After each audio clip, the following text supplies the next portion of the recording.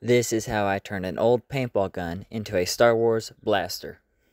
So this was a very old paintball gun that was sitting on the shelves collecting dust and I have no idea where it came from. I know it's really old, but I decided to try something with it. The first thing I did is I filled all the screw holes with cardboard paper. Then I filled the rest of it with Bondo putty and the extra detailing that I didn't want. Then after I let it sit and dry for a day, I sanded it and then used filler primer and sanded it again and used a few other layers of filler primer. Then after I was done with that, I painted it black and that's whenever it really felt like it was coming together. I couldn't fit everything into this one video, so I'm going to make a part two.